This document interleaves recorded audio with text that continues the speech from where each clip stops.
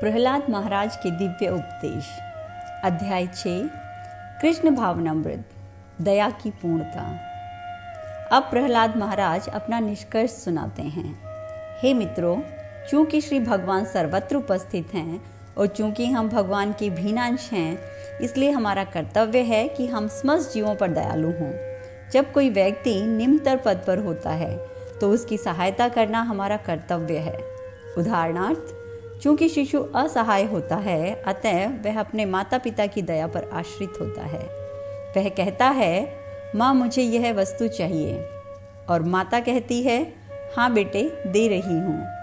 हमें हर जीव पर दयालु होना चाहिए और उन पर दया दर्शानी चाहिए। हम किस तरह सभी पर अपनी दया दिखाएँ?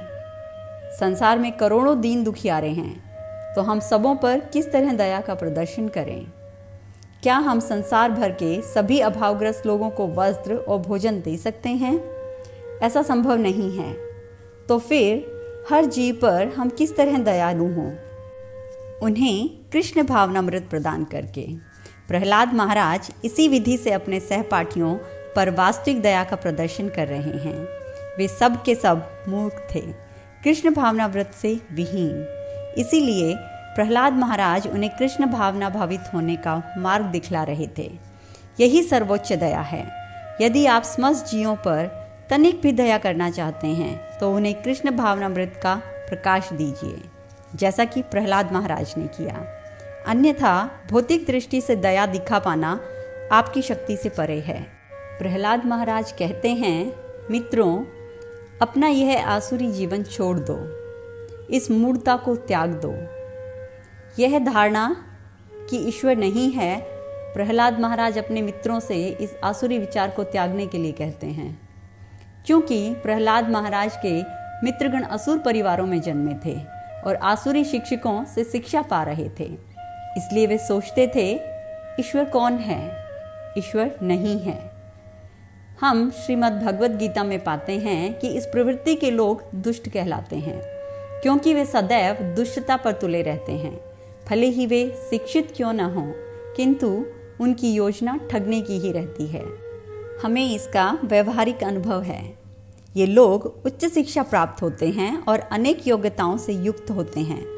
ये सुंदर वेशभूषा भी धारण करते हैं, किंतु इनकी मनोवृत्ति निम्न होती है। वे सोचते हैं, इस व्यक्ति के पास कुछ धन है, अतः षड्यंत्र करके इसे ठग लिया जाए। वे निरे दुष्ट हैं। वे किस लिए ठगते हैं? मात्र इंद्रिय तृप्ति के लिए?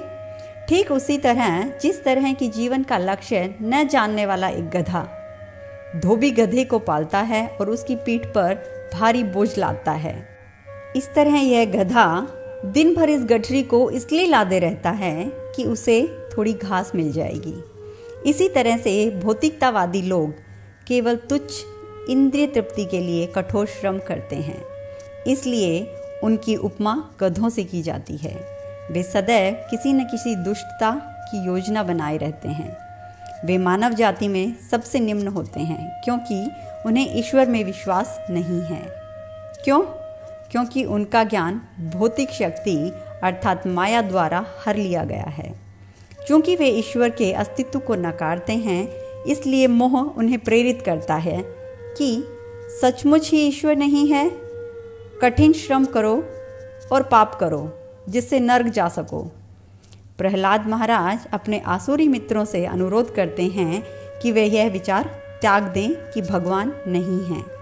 यदि हम इस व्यर्थ के विचार को त्याग दें तो हमारी अनुभूति से परे रहने वाले परमेश्वर प्रसन्न हो जाएँगे और हम पर दया करेंगे।